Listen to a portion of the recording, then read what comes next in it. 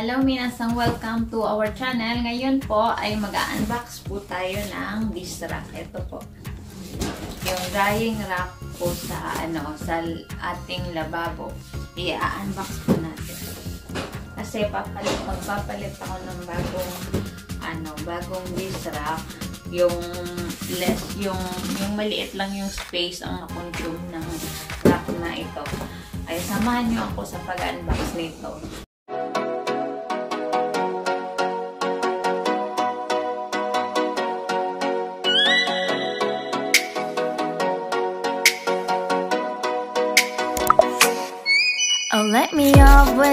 Smile on now. Me in the dark, won't get lost now. To the moonlight, eyes you are real right now. You look into my eyes and felt a feeling. Then nothing got it feel like a slim night. Now waiting for you. Bago po tayo mag-start, please don't forget to like this video. And sa mga hindi pa po nakapag-subscribe, please subscribe to our YouTube channel. I-click nyo po yung bell button to be updated po tayo sa mga susunod pa nating mga videos. Okay, simulan na po natin yung pag-unbox natin. Ito po ay binili ko sa Amazon.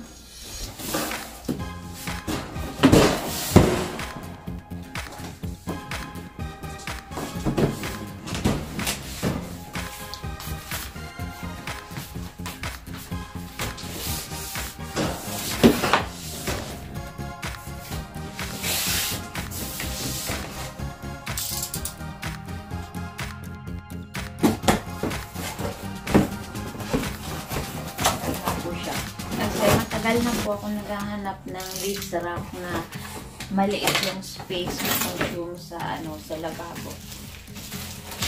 Ito yung contents niya. Ito yung ah, pag tumulo yung tubig, dito, dito yung tutulo yung tubig. Tsaka meron siyang suction cup.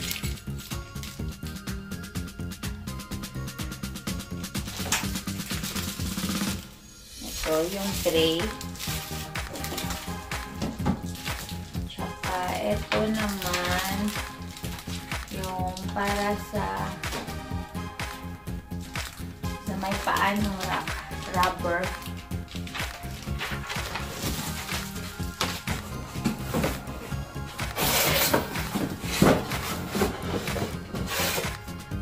Ito naman yung kung saan ah, tutuloy yung tubig tsaka didiretso sa, sa lababo yung ano ng tubig. Yung na-drain natin tubig sa rack natin. Ayan po siya.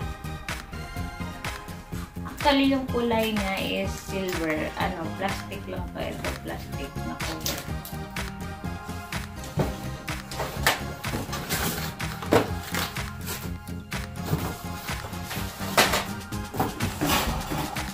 Ito siya. Ganito lang siya maliit. Maliit lang siya. Ayan. Ayan. Yung space niya, ganyan lang. Maliit lang yung space. Saka pwede siya ma-extend.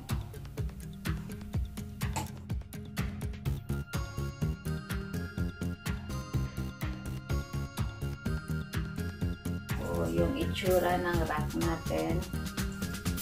Tsaka ito, yung ah, drying rack ng mga chopstick or ano. Yan. Dito yan lalagay.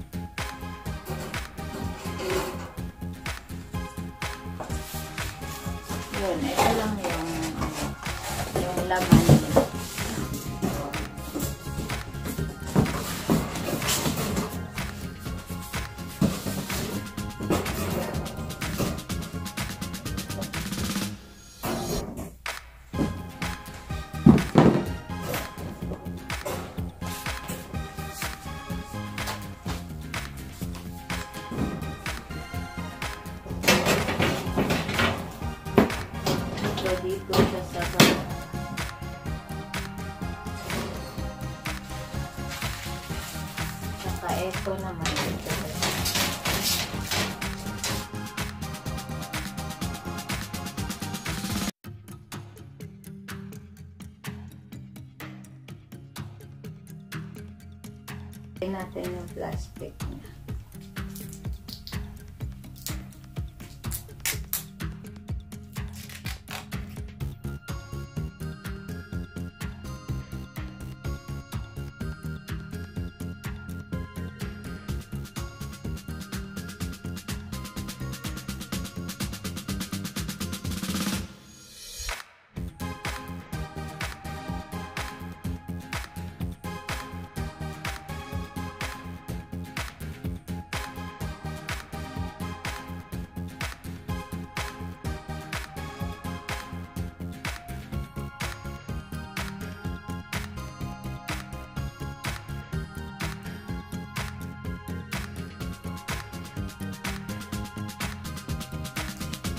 Ayan na po. Pag nagda-dry ng mga ano, ng mga hinugasan, dito napupunta yung tubig. Tsaka ito lang yung itatapon mo yung tubig. At tsaka yung ito naman, diretsyo na sa lababo kasi may ganyan na siya. Extension niya chopstick, kutsara, tinidor, pwedeng ano, ilagay dito pag katapos mong hugasan.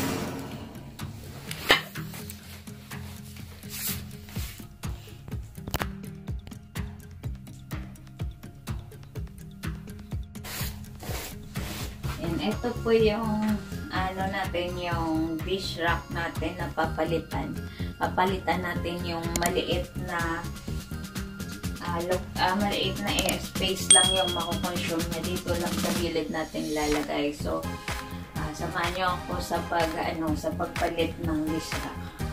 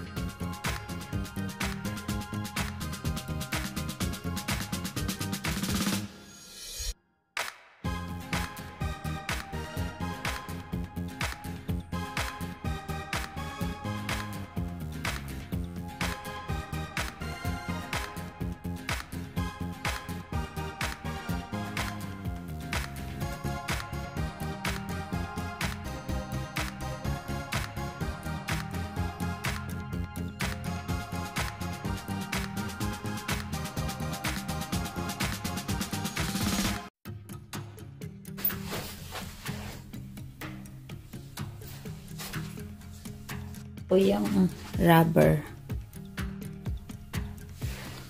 At saka ito, uh, suction cup.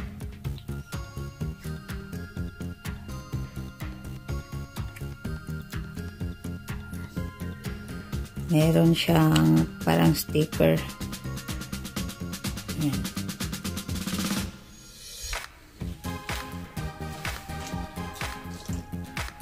At saka ito. Po.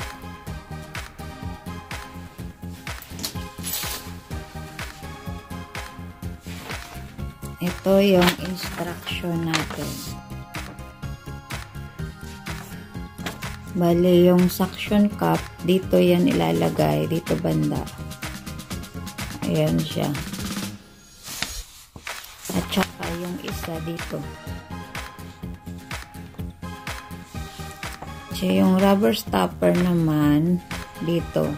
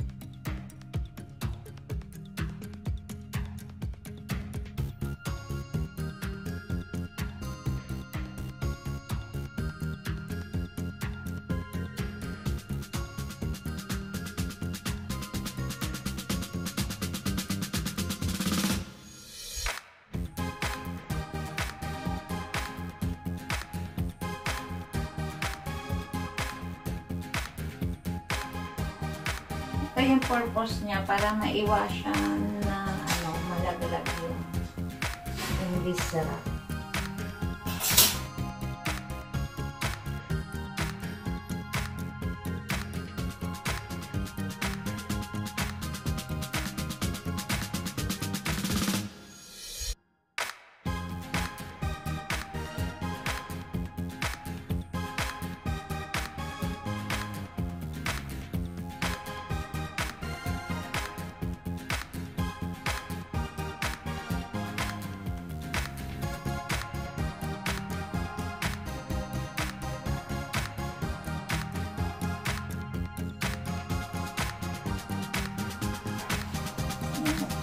tapos na po.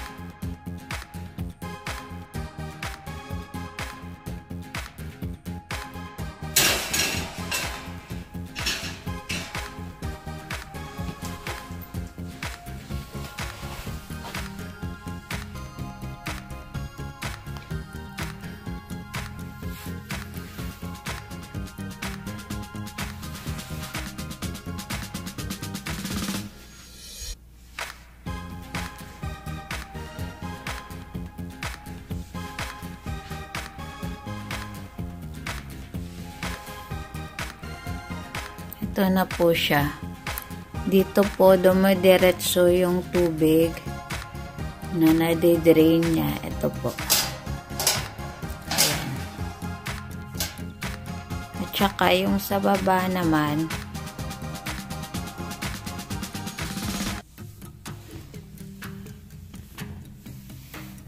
dito naman siya dumidiretso. Diretso na siya sa lababo.